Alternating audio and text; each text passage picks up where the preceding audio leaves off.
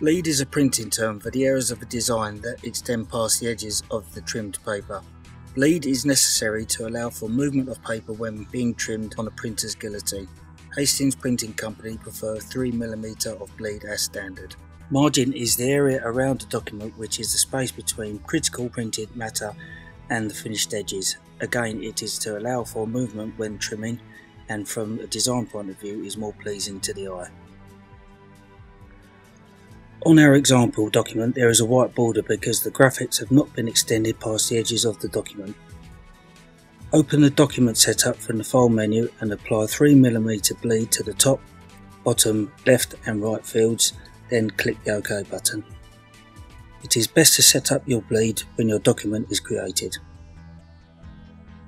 Now if I go to the screen mode in the view menu, you can see that I currently have bleed selected. If I change to preview, the document is now shown without bleed.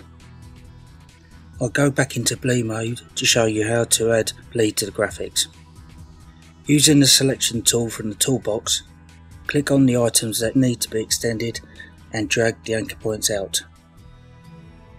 Ensure this is done for every edge that needs to bleed. As with this example, your document may contain several elements that may need extending.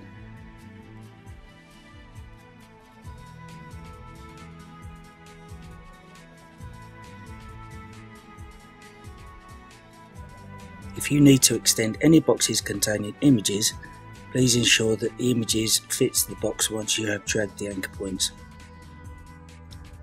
The heading and dummy body text are too close to the edge so I now need to adjust these to allow for a margin. When adjusting text, be aware that text may reflow. If I view the document in normal screen mode, I can see guides to aid me for positioning. Again, it is best to set the guides when creating the document. Please remember to save your document once you have made your changes.